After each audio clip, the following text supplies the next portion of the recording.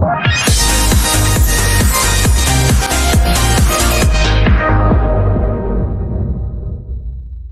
everyone, Trish here, Gearhead Gal, making this video for you today because we're going to teach you how to maintain your motorcycle. So whether you are new to riding and have yet to get a bike or you're a very experienced rider who just wants more information on maintaining that motorcycle, this is a video for you.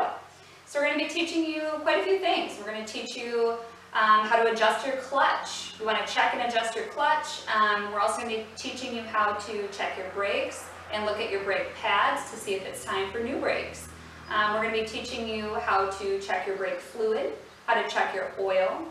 Also going to be teaching you about how to check your chain tension if it's a bike that runs off of a chain. Um, flies. Minnesota summer.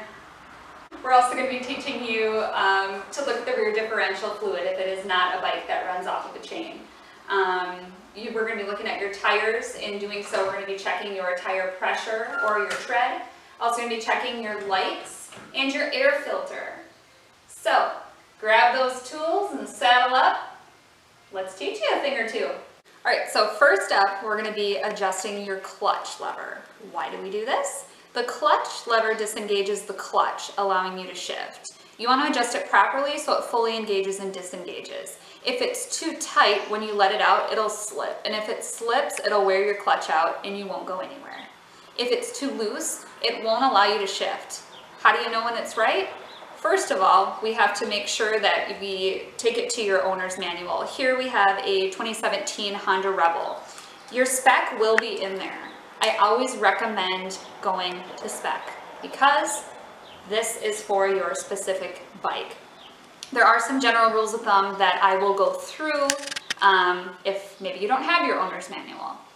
But um, you want there to be a little free play, um, but always check your bike's owner's manual, like I said, for specs. So here on mine, it says free play at the clutch lever is going to be 3 eighths to 3 16ths of an inch.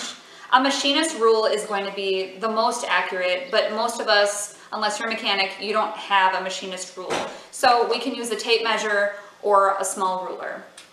So I'll take you through this. Um, one of the big things that you want to look at for too is you want to check your clutch cable. You want to see if there's any signs of wear on this because adjusting it, if it's worn down or if there's something wrong with it, isn't going to do very good. It's not going to do you any good. All right, so general rule of thumb if you are able to stick, so if you look at this lock nut here and this screw, if you can fit a nickel in there of free play, is about your general rule of thumb. However, we're going to be specific. Don't come for me in the comments. If, um, so you can check it here, which is what I usually like to do, or if you'll notice in your owner's manual, they will have you checking out here as well. So here's your area of free play. You'll feel it when you squeeze it in just to the point where you meet resistance. So that's about where, about where you'll be measuring from. So if you get your tape measure out, you probably want to start from the one and just use that as your first inch here because it can be hard with the big tape measure like this to get it accurate. And when you're dealing with such small, precise measurements, you want to get pretty precise because we're talking millimeters or, you know, parts of an inch. So what you want to do, like I said, if you start it right at that one inch, so you can have a clear measurement, and right when it grabs, that's where they're asking you to adjust it to, okay? So if you start at your one inch, that's where it grabs. Same deal. If you're up here and you put it on your inch, you start it there, that's where you're going to see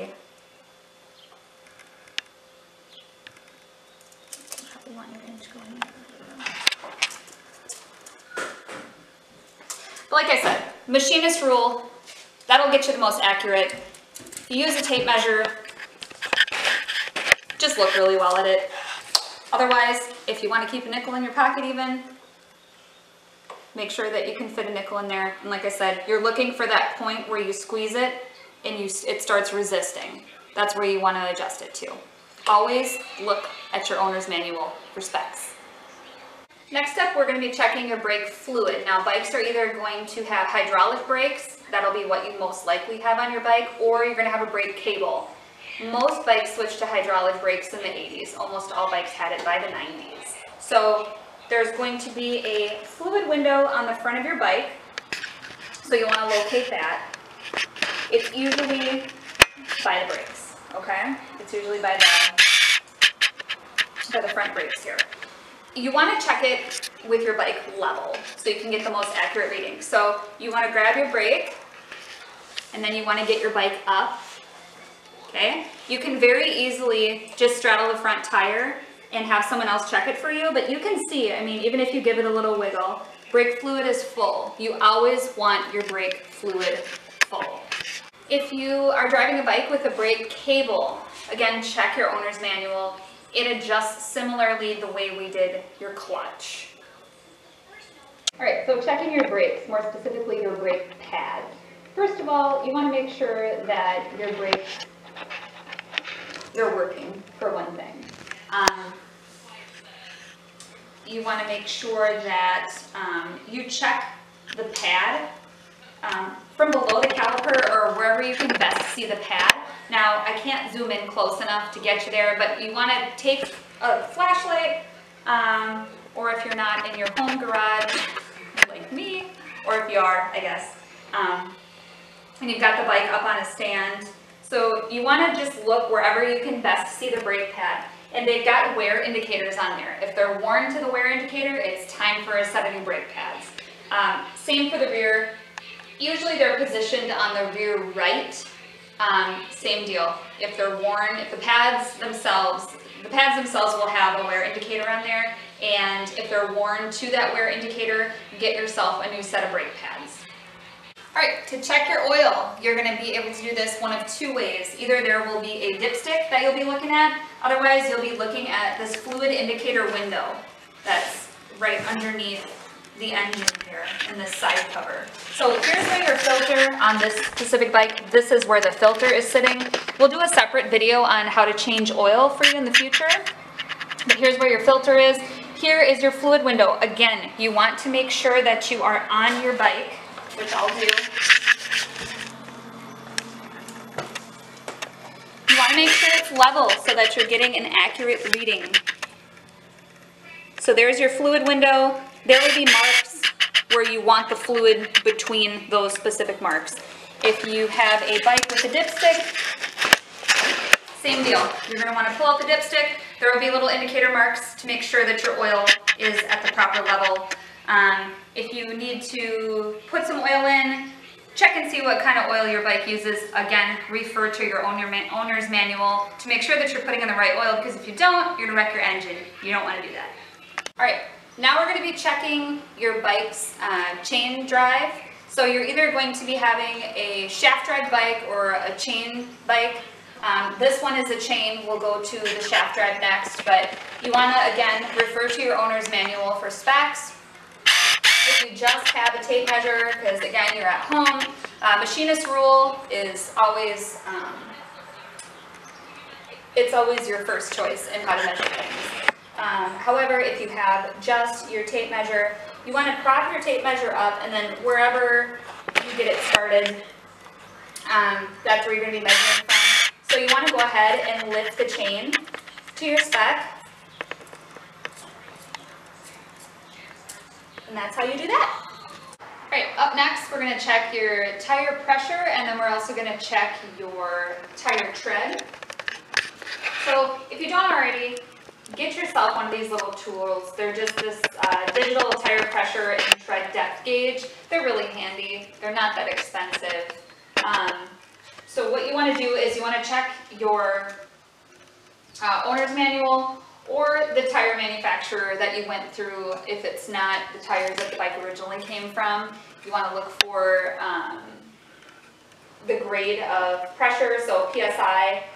You want to make sure that you are doing that as a spec as well. It'll just make sure the tire will run smoothly for you, efficiently, and you're not going to wear them down as quickly.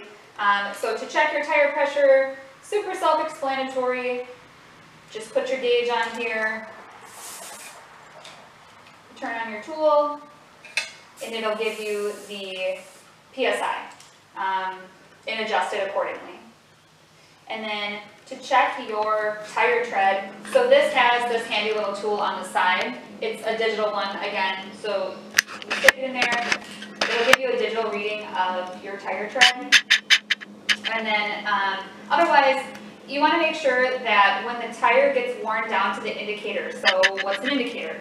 It indicates that it's time for a new tire. Um, there are these bars that sit in between here, and when the tire tread starts to get worn down to those, it'll have these little indicators. It'll say either TWI or it'll show one of these little triangles. Once you do that, it is incredibly important that you don't delay. Get yourself a new set of tires because we're riding on two tires here. We're not riding on four. So that obviously makes it a little more dangerous when you blow a tire and you're flying 75 um, down the highway. So tires are very important. Make sure you check them and check them often. Next up, you want to make sure to check your lights. So we have our high and low beam. We also have our turn signals. You want to make sure that those are all working properly, as well as your brake light. If you want to get somebody to help you with this, you can. You don't have to. Might make it a little easier.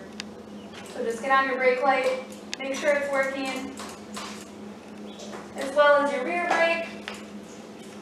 If any of the bulbs need to be changed, it is important to do that sooner rather than later. There are some laws regarding bikes that don't have to have turn signals.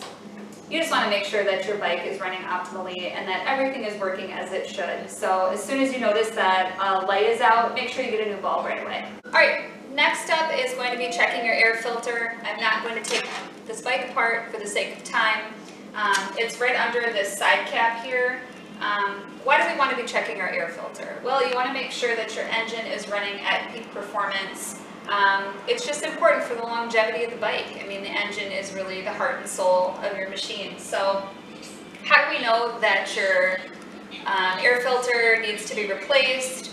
A general rule of thumb is with every oil change, again, refer to your owner's manual for specs on how many miles. Um, if you're checking it though, you want to for sure check it with every oil change. Um, if you notice that it's grimy, it's full of bugs, it, I mean, you can tell. You can tell when it's time for a new air filter.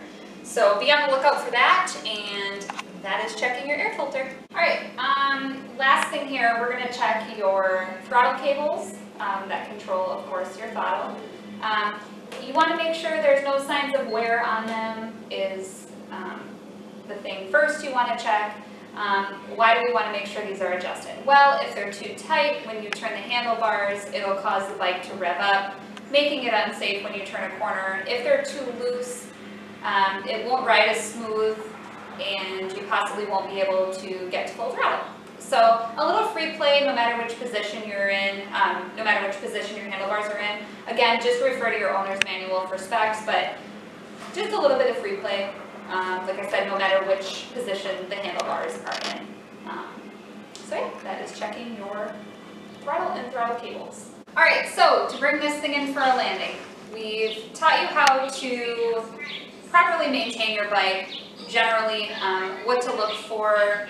Um, I know I sound like a broken record, but your owner's manual is going to be key because every bike is a little different. Um, I threw out some general guidelines in there for you. You can go with that, you know, from time to time if you're without your owner's manual for whatever reason.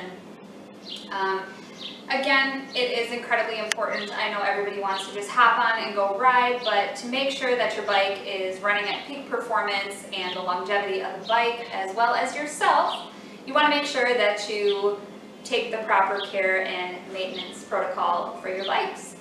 And until next time, like, comment, subscribe, let me know what you guys want to see. Um, happy to throw out any videos that you guys want when it comes to bikes. Um, if there's something you want to learn how to do, if there's questions that you guys have, feel free to leave them in the comments. And until then, keep the rubber side down.